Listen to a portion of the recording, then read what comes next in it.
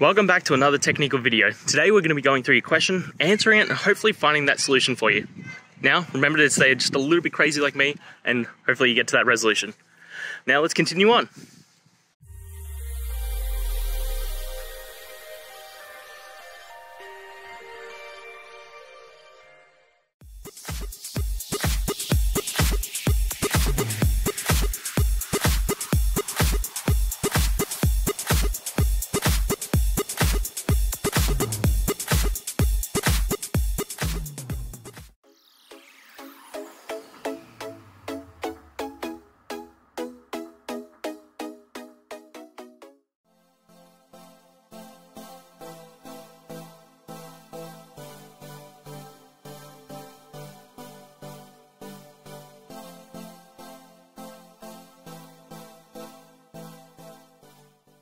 And that's it, guys.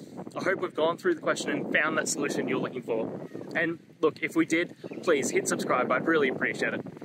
And until the next time you need technical help, I hope you have a good one. Cheers.